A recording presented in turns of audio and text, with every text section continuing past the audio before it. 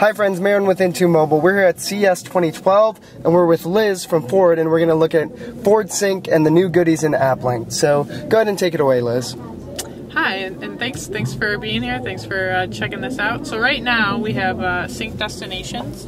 It's powered by INRIX uh, to get traffic information, and it's currently running through our AppLink system. So you can use voice commands as well, well as steering wheel controls to uh, control these apps.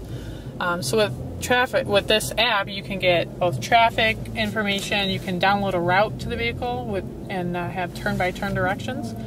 Um, so so let's let's try one out. We can these are some of the options. You can tap them on our touch screen no save points found. There's no save points found. Mm-hmm. so save points on on this app what they represent are um, kind of uh, points that you know, like work, home, your your friend's house, um, that you can you can pull up in, in the vehicle via voice and uh, you know get traffic and, and information to them. Um, other things you can do with this app are kind of report an incident. If you're driving around, you see a, a police situation or um, you know you see an accident, you can report it and kind of help out the, the community that also uses this app to, to better the information around you. Uh, load any other. So th those are as easy. You can I can show you how the voice works. There's a voice. Say destinations. Please say a command. Report accident. Reporting accident. Okay. Thank you for alerting the community of this accident. If needed, contact your local emergency agency. So that's kind of the the basic gist of uh, that app. Um, why don't we check out some of the others sure. that, that uh, we uh, just announced at CES this week? We, we announced a total of six apps. Uh, the rest of them, there's one other directions app, and four others are all um, kind of you know entertainment based apps. Mm-hmm. Um, so why don't we switch to uh, the latest we just announced today is iHeartRadio.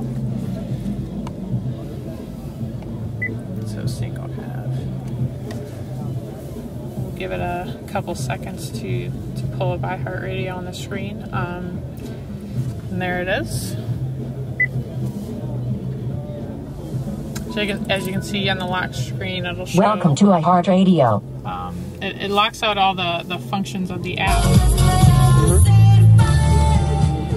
So you to make sure that the user uses it safely while keeping their hands on the wheel, their eyes on the road, and, and using voice commands.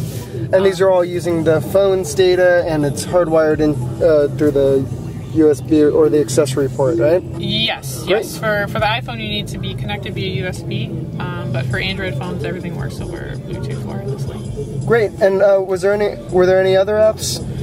Um, sure, sure. Uh, there's other ones include uh, NPR News and TuneIn. All of these, all of these apps are also AppLink enabled. Great. And where can we find out more information about AppLink and Ford Sync? Um, I would head to, to Ford.com and, and or your, your FordOwner.com if you have a Ford vehicle, uh, and you, you can see a full list of the apps we have available. Great. Thanks for your time. All right. Thank you.